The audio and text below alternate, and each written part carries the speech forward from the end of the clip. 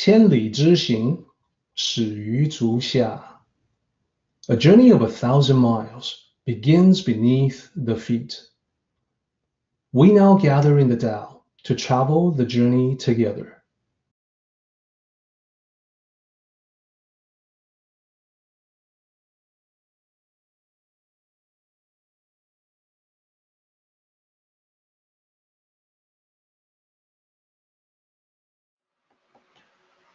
I think everyone would agree that the earth is beautiful beyond description.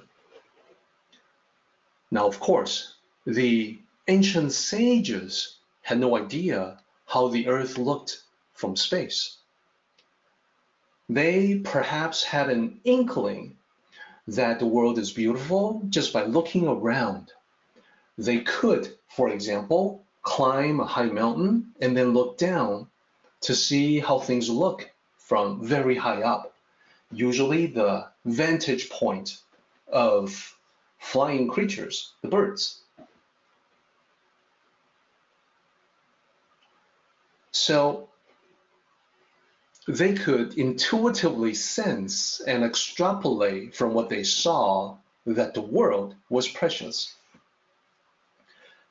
After all, the world is what gives us, gives humanity the gift of life.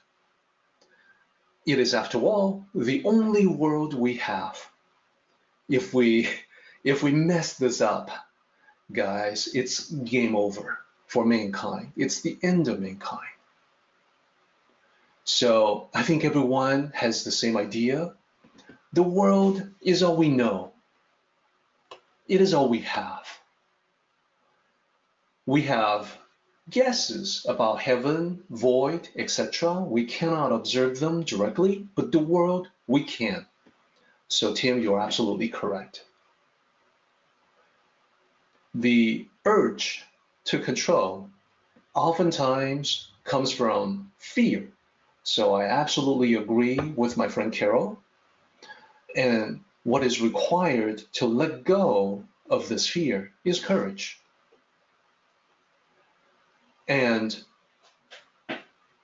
Barry is also correct, sacred, special, unlike any other. This is the only world we possess. We don't have a backup. We don't have a plan B. This is not only our plan A, it's the only plan. So oftentimes we talk about marriage being sacred because it's a relationship unlike others. So it's the same about the sacredness of the world. We have this world unlike any other. We have this life unlike any other. We don't have a backup life. Cat may have nine lives, we sure don't. This lifetime, this is it. So there are people, of course, who are forward looking, looking to the future of mankind, and they may point out that, for instance, in, in the distant future, humanity may have enough ability, resources, technology to go to different worlds, to other to go to other worlds. You know, television shows and movies, Star Trek, Star Wars are based on that premise closer at hand in the near term in comparison to science fiction, what about migration to other planets in the solar system? So wouldn't that be a possibility too? And then we wouldn't just have, you know, the Earth as the only plan that we have instead of plan A, plan B. So here's something that I think is worth keeping in mind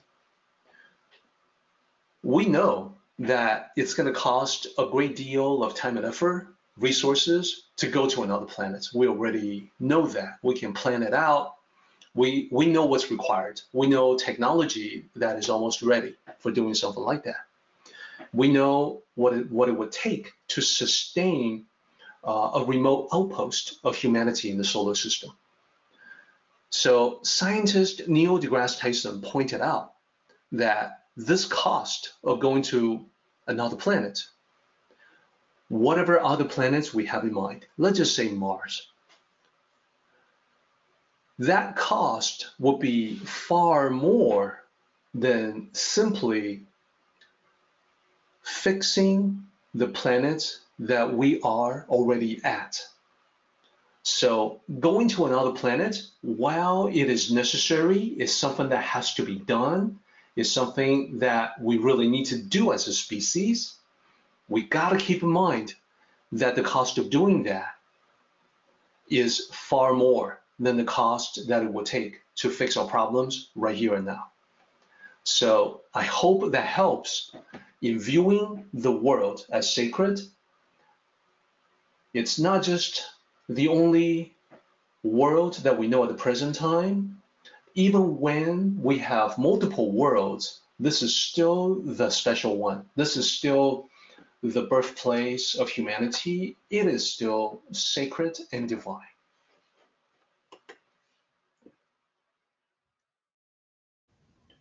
Our meeting has come to an end, but the journey continues on. Let us travel safely. Until next time, may the Tao fill you with peace and happiness.